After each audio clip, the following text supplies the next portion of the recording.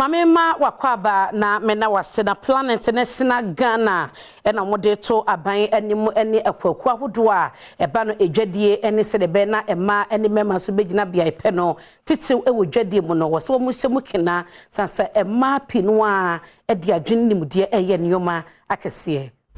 Wɔde mmaa yi afa nteteeɛ mu wɔ kwan a wɔn bɛfa soɔ adua mfudeɛ na wanyɛn nsuommoa afei kwan a wɔn bɛyɛ ɛwoɔ mmire nwa ne nneɛma foforɔ bi a ɛka ho. Saa dwumadie yi plan international ɛna ɛyɛɛyɛ a wɔnom yi mmaa ɛfiri mantam ahodoɔ yɛ a wɔnom ɛkɔdwendwene akwan pa a wɔbɛtumi aboa mmaa yi ama wɔnom atumi agyina wɔn nan so wɔ sikasɛm mu. Country director ɛma plan international ghana ne amanibɔni ɛtwetwe nkɔmmɔ ɛkyerɛ no nea a wɔnom ɛtu saa anammɔ no. In a society like ours we actually can't be prioritizing um, just men over women. We need to give women equal chance and equal opportunities as men uh, so the whole society can benefit.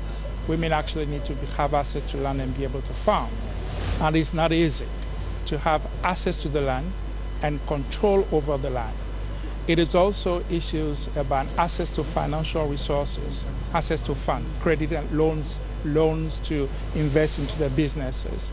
We need to make the loan condition more flexible businesses, but it's also an issue of being able to give them space. mmaa bi a wise project dwuma a wɔnom diiɛ no wɔnyɛ mu mfasoɔ bi ne amanebɔni twetwe nkɔmmɔ eti nwa mfasoɔ mu yɛtɔ so ɛyɛ adeɛ bi so a wotɔn a ne boɔden obiara so hu a n'ani gye ho ɛyɛ n'akɔnɔ ɛyɛ adeɛ bi a akɔnɔ ahoɔden wɔ mu.